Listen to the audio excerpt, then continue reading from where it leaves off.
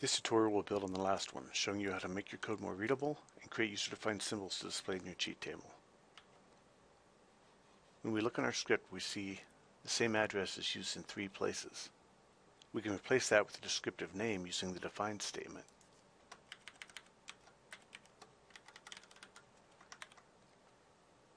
Anything above the enabled section will be assembled both when enabling and disabling the script.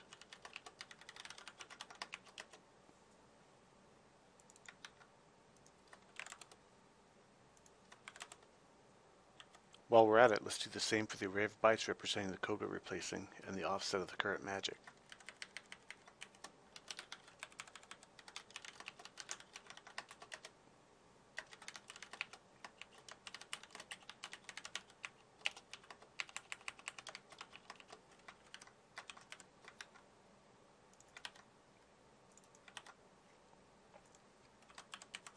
Let's add the other offsets we know as well.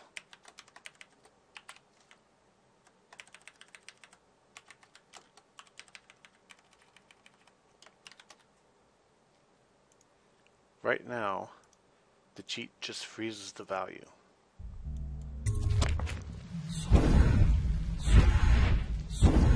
see the bar, it actually goes back down slowly to our new value. Let's change it to have two options.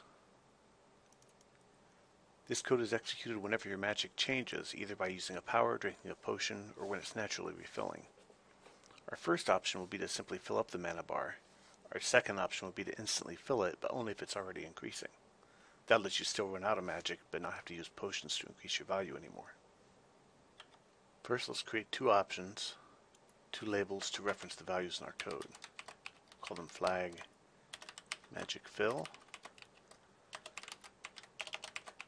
and flag magic instant charge. We want to use these outside of our script, so we'll register them as symbols.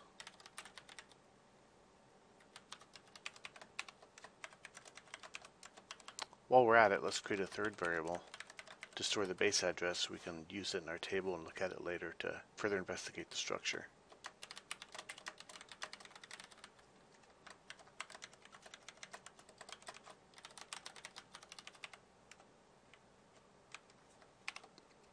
Now since we register these symbols, we should probably unregister them in the disable section. Otherwise they'll be pointing to who knows what in memory.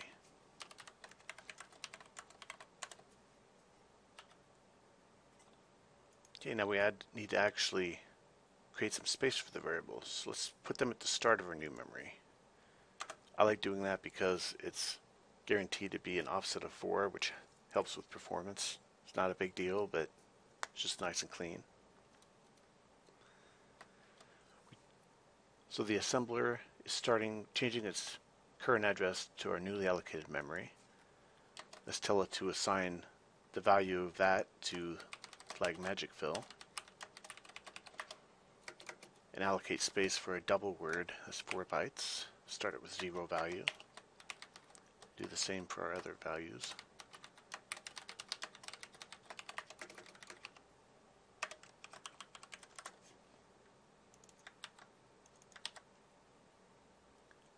Now new mem is no longer pointing to the start of our code.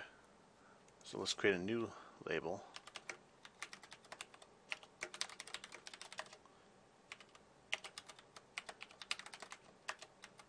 And tell it this is where the code actually starts. Then our injected code will jump to that.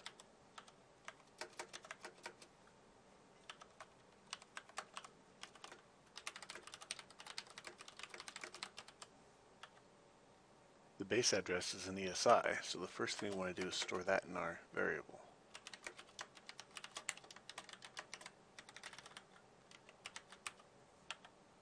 If either flag is enabled or not, we will still want to execute the instructions to change the value. So let's uncomment the original code and change the value of EAX based on our flags.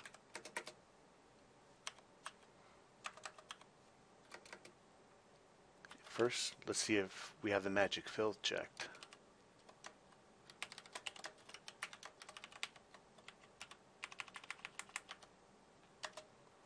create a label to skip it.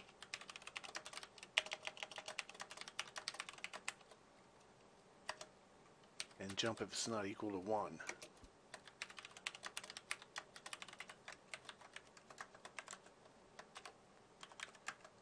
Now this code will only be executed if that flag's value is 1.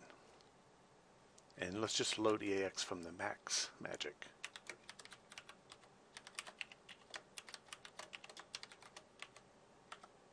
And jump down to our original code.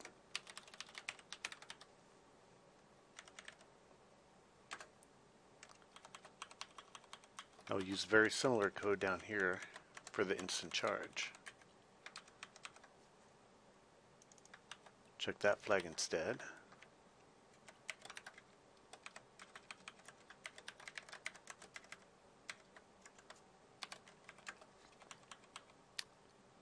And we also want to skip setting it to the max unless it's increasing. So let's do a compare with EAX and the current value.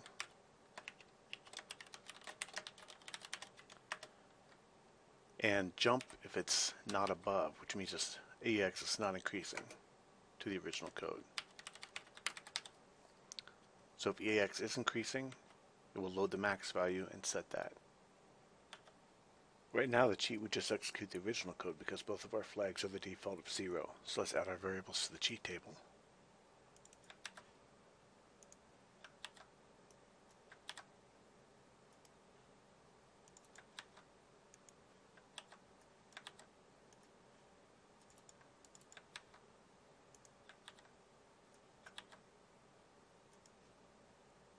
and set this one as hex.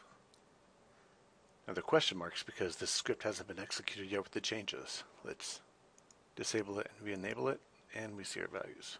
But we have to actually execute the code to see that. Let's do that now.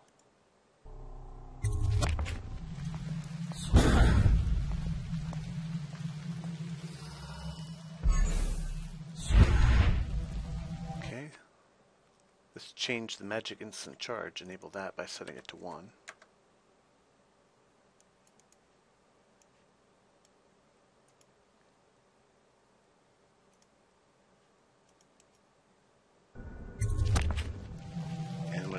Charging, it instantly fills up. So we can still run out of it.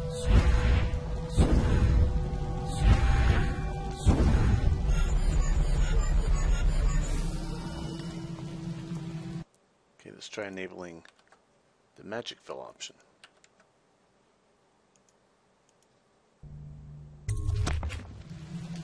Let's just lower our energy some.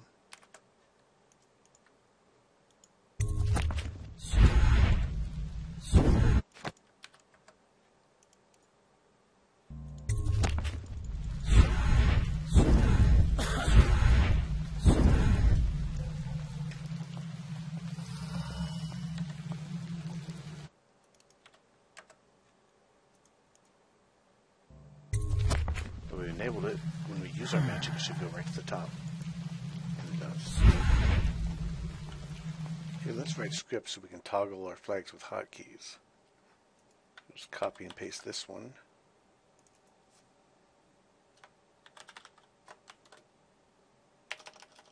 Call it magic fill. And here, since we define these symbols in our other script, we can use them here.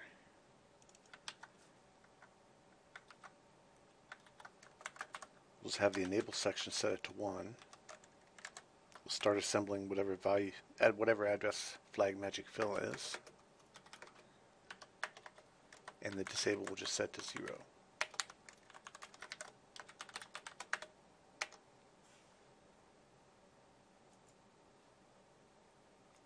Set the hotkey for that. Create a new one, F1, and toggle script to the default. Okay, let's copy that, change it to F2 instant charge.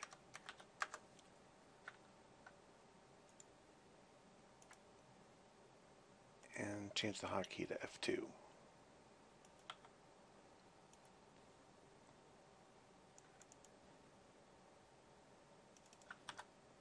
Course it needs to use the different address.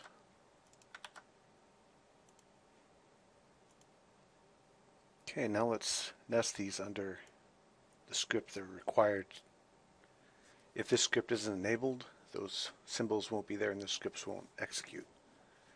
And let's change this to hide the children when deactivated. So now if we deactivate this, we don't have to see those flags. And you can see the memory that they used to point to has been deallocated. So it's filled with garbage. Let's go back to our game.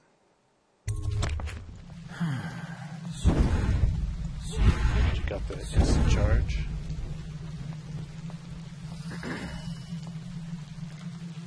Disable it with F2. Check out Magic with F1. Works perfect. Okay, finally for this tutorial, let's change it to use AOB scan so that if the code changes, our cheat will probably still keep working.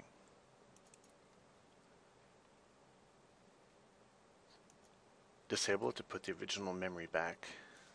And this is where we want to inject. So let's start looking for these bytes. Do scan for array of byte. We need to uncheck writable so we'll scan the code areas which are read-only. And separate out those bytes. You can use star or double question marks to indicate you don't care what the byte is. So let's add a few to the end, because this might be in more than one place.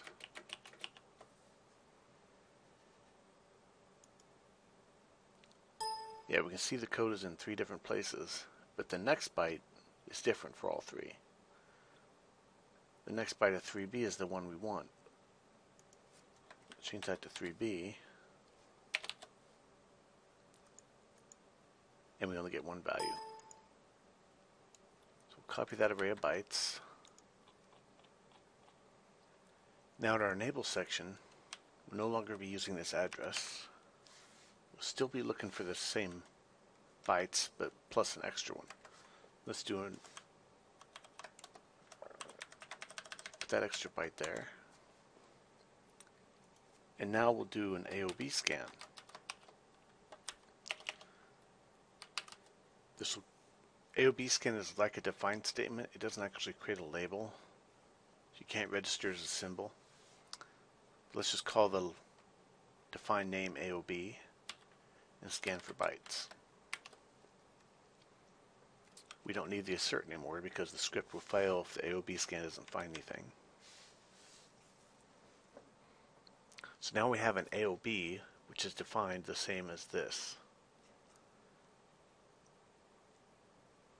Down our injected code then, we want to start at AOB.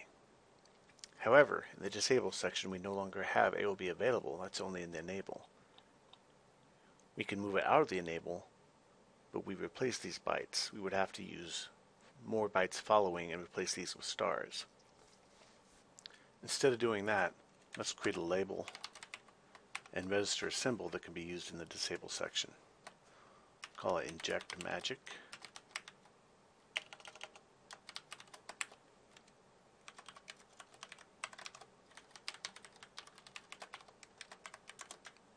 And unregister it also.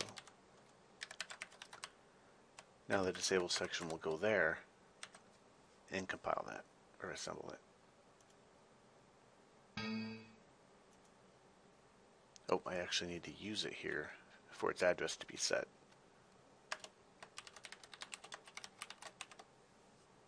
So AOB is already defined. It tells the assembler to move to that address.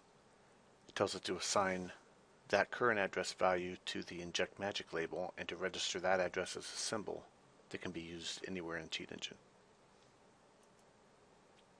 So now when we do this, we also go to the memory viewer and go to address inject magic because it's a user defined symbol. And we can see that it's also shown there.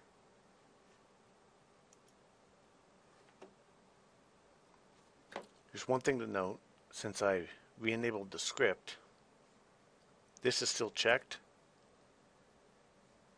However, the value is zero because I reassembled the enable portion of this script. We can see that if we resume. The cheat's not working. Disable, re-enable, and